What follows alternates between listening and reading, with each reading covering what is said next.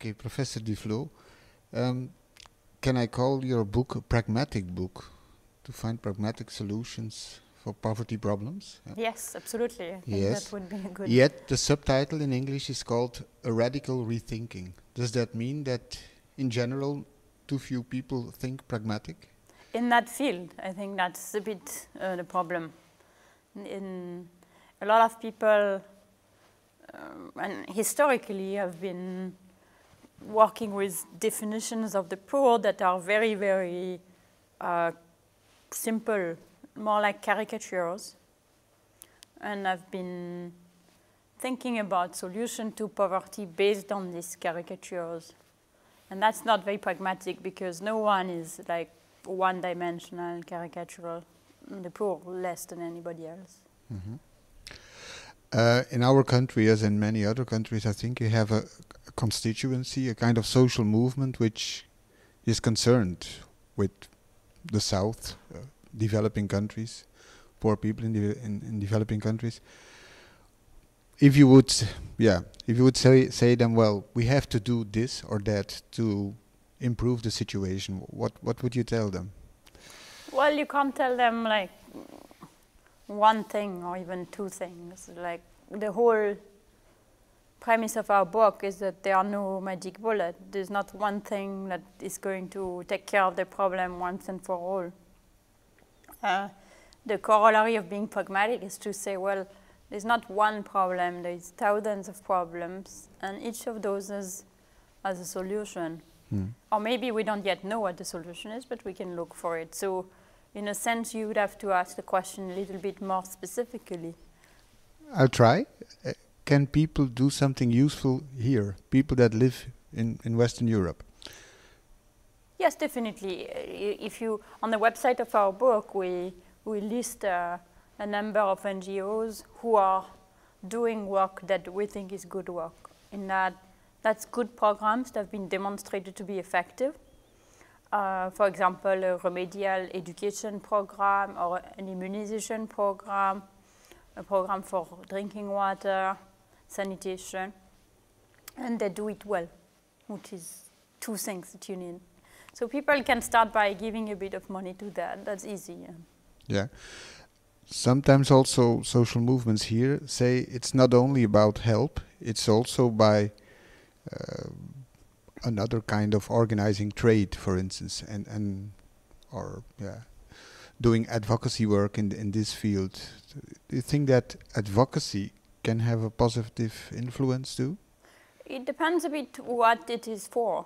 I mean, it, in a sense, advocacy is also what I am doing. Uh, the issue is when it becomes advocacy for its own sake, then that's not sufficient. Like mm. you need to know what you're advocating for. Mm. Uh, and well, for instance, many people are talking already for decades about 0.7% of our GDP should be given to development cooperation. Do you think that's a useful uh, uh, yeah, aim or objective? I think it's, it, certainly would be useful.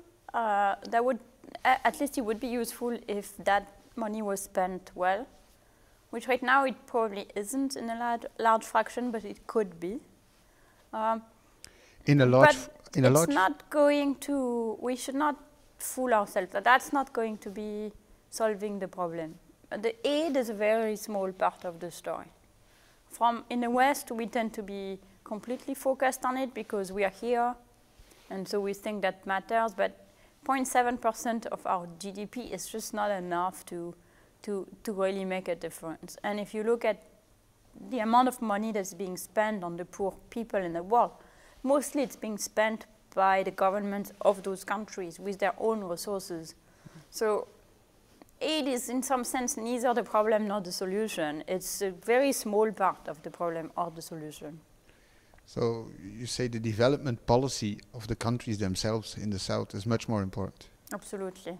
Yeah. And in a sense, what we need to work on uh, with in these countries and to some extent here that's possible as well is how to make those policies more effective. And it doesn't really matter who pays for it, if it's aid or if it's their own resources. What matters is the policies. In the last chapter, you, you you you talk about that. Uh, is it possible to influence governments from the outside to change their way of doing policy? And well, I think you say it's difficult to change them from the outside. I think it's very difficult to do any wholesale change. It's not that it never happens. We've seen it happening in the Arab world uh, during the Arab Spring. But it's very hard to imagine when it's going to happen. You cannot influence it. You cannot predict. So it's kind of move. It moves on its own pace. Mm. However, what we realize has a lot of importance is much more detailed features about the mm -hmm. way politics is organized mm -hmm. has very big impact on decisions that are being taken and the legitimacy of those decisions and things like that. So I don't know if you would call it influence, but this is one way of saying that's a place where advice and design and all that is going to matter a lot. And it's not in at this like big mm. revolutionary level. It's at a much more mundane day-to-day -day level. Uh, but sometimes I think it's even more important. Our government sometimes is the Belgian government is, is thinking about Congo uh, um, and has many questions on the policy which is uh, well, conducted there, but doesn't know exactly how, how to influence. But is it useful to try uh, to influence the politicians and to, to try to say, well, one of the things they have done now is if we see a better policy, we'll give you more money. Um, do you think that's a use, good idea? The Congo is a difficult situation because it's particularly messy. um, so that's an example of countries which has a lot of problems. So the question you have to ask yourself with a country like Congo is, given how bad it is, do we just wait until it becomes better or do we try to do something anyway? And a country like the US has sort of chosen the first path and mostly decided that they won't give money until governance improves.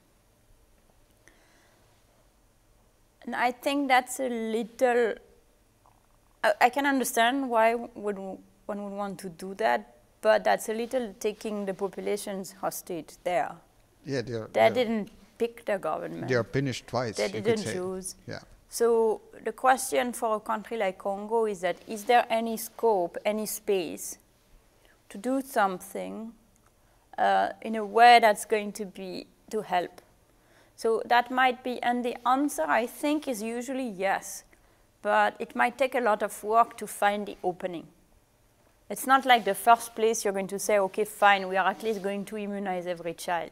That might not be possible because it might be that the uh, health sector is just the worst and the most corrupt. Mm. But it might be that somewhere else there is some opening. And it takes a little bit of opportunism in a way. But I think we've seen reasonably good policies happen in very bad environments and I think it's important to maintain them because first they can help people here and now. You would do pretty simple programs, not anything like grandiose, like, you know, mm -hmm. vitamin A or iron, or things that are simple and definitely helpful.